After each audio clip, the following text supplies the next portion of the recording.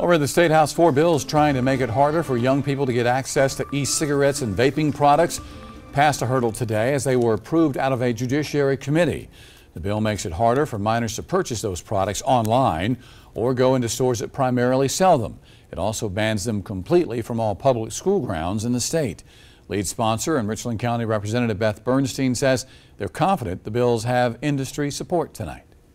I think we are all on the same page that we don't want children under the age of 18 using these products. And JUUL has stated they're committed to it, and it makes it easier in our job when the, the industry that we feel might be encouraging adolescent use is taking a firm stand against that. Well, that legislation is going to now go to the full Judiciary Committee. If approved there, the measure would go before the full House.